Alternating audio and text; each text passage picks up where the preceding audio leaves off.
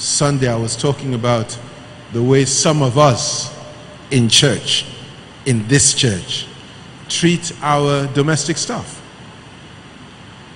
They're human. And I said that there's not one person that God created that is better than another. Nobody is better than the next person. You may be richer, you may be more educated, you may be all those things, but you're not better. So don't treat them as if they're subhumans. Amen.